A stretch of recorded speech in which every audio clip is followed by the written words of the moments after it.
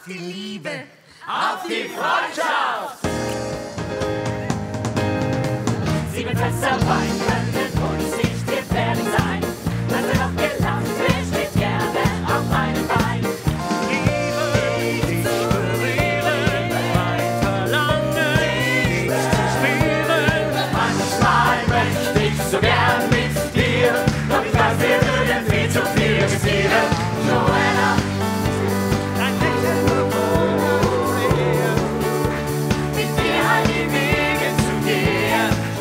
Grundidee hatte ich mit meinem Freund Lutz Fahrenkrog-Petersen. Und da habe ich ihn gefragt, sag mal, was hältst du denn von der Idee äh, Santa Maria als Musical? Sagt er, super. Ja, mehr geht nicht.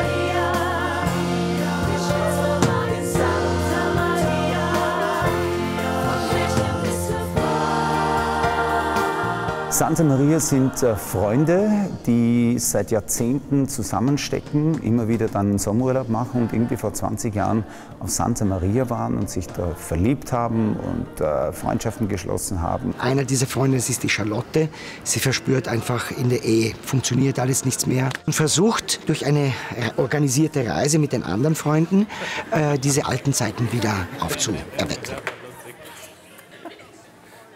Na, was haben wir denn da für ein süßes Würstchen? Im Grunde geht es natürlich um Geschichten, die das Leben schreiben kann. Also ein Paar, das nach 20 Jahren Ehe eigentlich am, am, Scheideweg steht. Und die lernen sich also äh, dort wieder neu kennen, ja, neu lieben oder verlieben, ja, wie zum Beispiel Ilja mit seiner Joanna, die er vor 20 Jahren dort getroffen hat. Und dazwischen werden halt aber noch von anderen Paaren äh, Möglichkeiten äh, gezeigt, wie äh, Beziehung laufen kann, was Sehnsucht sein kann und wie man sich finden kann. Und andere, äh, wie sie noch ganz mit jungen, wilden Herzen aneinander vorbeirasen. Und äh, da kommt dann eben diese Partystimmung her. Sag, ich liebe dich! Jeder soll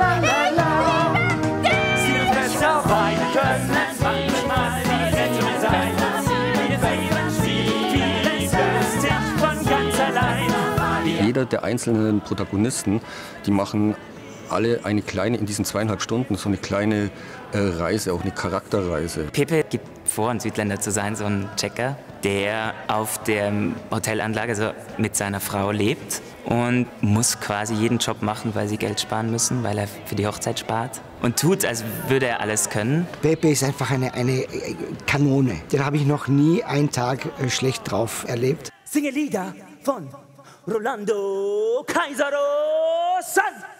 Oh, manchmal möchte ich schon mit dir diesen unerlaubten Weg zu Ende gehen. Manchmal möchte ich so gern mit dir Hand in Hand ganz nah an einem Abgrund stehen. Die Charlotte ist so die verletzte Ehefrau eigentlich. Ja, der Mann hat keine Zeit für sie, arbeitet halt sehr, sehr viel. Ich glaube, das ist immer so ein Missverständnis. Man sitzt hier jetzt nicht die ganze Zeit da und denkt, so, ah, wie kann ich jetzt Geld verdienen oder so, sondern das ist so, ein, man möchte was schaffen, man möchte irgendwas und dann, dann ist dieses Projekt, das möchte man verwirklichen. Und das ist nach 20 Jahren Ehe, läuft das läuft halt eher ein bisschen parallel. Und die Charlotte hat eine große Sehnsucht. Sie versucht die Ehe immer wieder zu retten, eben so Spielchen, sie macht sich schön am Abend, damit ja, sie den Mann wieder mal verführen kann. Aber das klappt halt nicht so gut. Und sie sagt halt öfter mal, ja, werd bitte wieder zu dem Mann, den ich geheiratet habe, weil die Beziehung eben schon wirklich in der Schieflage ist. Das Hemd bleibt zu, amore mio. Lass mich in Ruhe, amore mio. Hab keine Zeit, amore mio.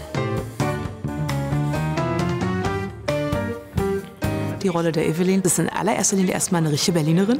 Eine sehr warmherzige Frau, die hat im Stück eine Bar und hat sozusagen immer ein bisschen ein offenes Ohr für die Sorgen und Nöte und ist für ihre Freunde da. Andreas ist privat sehr mitgenommen, weil ihm seine Ex-Frau tierisch Probleme macht und ihn unter Druck setzt mit dem Kind, das er, nicht dann, das er dann nicht sehen darf.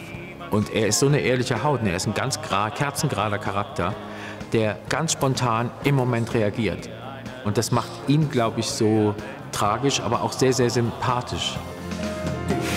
Lieben, dich berühren, mein Verlangen, dich zu spüren, deine Wärme, deine Nähe, weckt die Hoffnung in mir von Leben mit dir. Ich habe die Lieder ja danach ausgesucht, ob sie die Handlung transportieren. Da ist ja kein Lied, das nur so im Raum steht. Äh, Es erzählt jedes Lied die Geschichte weiter. Und das war mir wertvoll. Es Wo ich das erste Mal mit Roland Kaiser mich beschäftigt habe, natürlich zwei, drei Lieder kannte ich, aber dass es so viele Lieder sind, die man wirklich kennt ja, und mitsingen kann ja, und die einen irgendwie seit 20, 30 Jahren begleiten zum Unterbewusstsein, das war schon erstaunlich. Es ist so, dass diese Lieder von Roland Kaiser, wenn man sie normalerweise in eine äh, Show hört, Roland Kaiser singt alles durch, Anke, das war's, auf Wiedersehen. Aber wenn man diese Lieder dann einbettet in eine Situation, dann merkt man, wie viel Potenzial noch da versteckt ist. Da geht eben einem das Herzen auf. Ich kannte Roland Kaiser Songs nur sehr wenige, also Joanna natürlich, Santa Maria, so diese großen Hits, sage ich jetzt mal, aber das soll die anderen nicht schmälern. Santa Maria.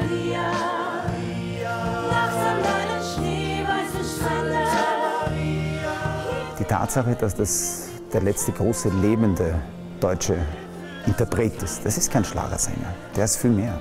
Ein Franzose, würden Sie sagen, er ist ein Chansonnier. Ich glaube, dass er Chansonnier ist. Fliege mit mir zu den Sternen, tausend Träume von hier. Das ist sehr kitschig, aber es ist wunderschön, finde ich. Fliege mit mir zu den Sternen, tausend Träume von hier. Natürlich macht mir am meisten Spaß Joanna, weil das, das ist natürlich seine Hymne. Oh Joanna, dein Lächeln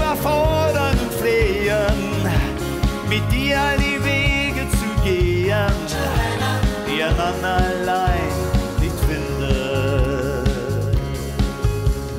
Die Gefühle sind frei, die mich doch immer sehr rührt, weil es in dem Moment, wenn das A Cappella ohne die Band singen, eine ganz eigene neue Bedeutung kriegt. Die Gefühle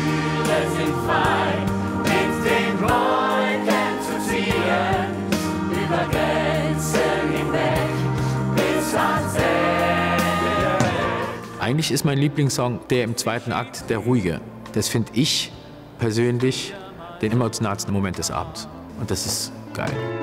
Ich denk an ihn und die wenigen Stunden. Das sind total, also eins wie das andere, so schöne Lieder. Und ich kann mich gar nicht entscheiden, welches ich lieber singe. Haut an Haut verbrennen, auf das Feuer zuzurennen und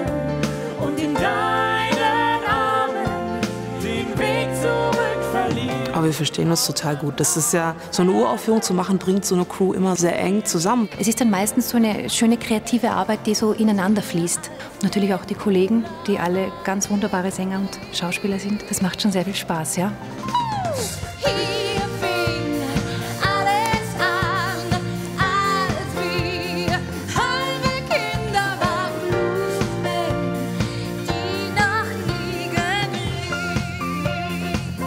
Ist wirklich eine tolle Stimmung, es ist eine tolle Truppe. Es ist ja immer die Frage, die man sich dann stellt, könnte ich mir vorstellen, mit der Truppe auf Tour zu gehen?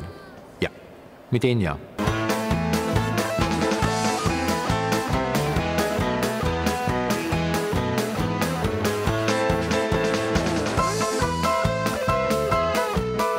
Die Problematik an dem Bühnenbild war, dass wir erst im kalten Deutschland noch sind. Ja, es ist Winter, ja. Und das ist alles sehr, sehr kühl gehalten, sehr, sehr viel in Blautönen, ja. Bis wir dann eben auf Santa Maria sind. Und da wollen wir natürlich ein bisschen Urlaubsstimmung reinbringen. Und dementsprechend haben wir da auch farblich ganz, ganz warme Töne eben drin. Und die Herausforderung, die waren die, dass es tourtauglich sein muss. Also es passt in einen LKW, in einen Trailer, komplett mit Kostüm, allem drum und dran. Es ist wirklich dieser Urlaubsflair. Ich finde schon, dass es auf jeden Fall Spaß hat. Ich mag meine Bar sehr.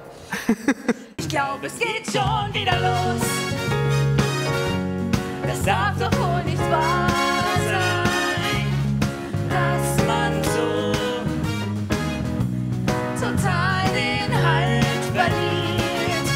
Es hat eine komplett andere Dynamik, wenn ein Live, eine Liveband mitspielt.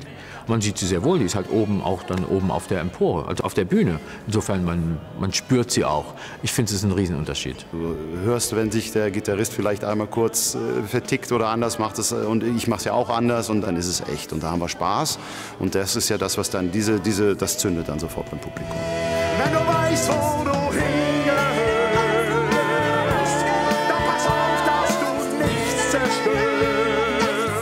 Mit Liveband natürlich umso besser. Es kommt nichts aus der Dose. Es wird, das ist sehr wichtig. Die Leute singen hier den ganzen Abend durch. Ich hoffe, das Publikum wird auch mitmachen. Schachmatt, sie spielte sehr, sehr klug. Die Santa Maria, es hat einen unglaublichen Spaßfaktor. Es hat auch wirklich tiefgehende Emotionen und Wahrheiten dabei. Es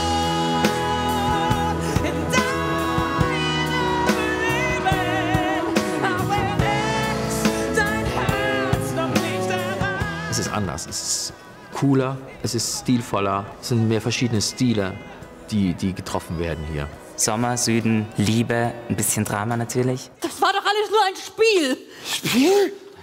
Manchmal möchte ich schon. Was soll denn das für ein Spiel sein? Auf jeden Fall auch eine Menge zu lachen. Vielleicht hat man sogar ein bisschen das Gefühl, im Urlaub zu sein, weil das ja auf einer fiktiven Insel Santa Maria spielt. Im Grunde werden alle Sinne befriedigt. Und wenn jeder Zuschauer, der Roland Kaiser mag und deshalb auch kommt, wird auf keinen Fall enttäuscht, sondern eher noch begeisterter sein. La, la, la.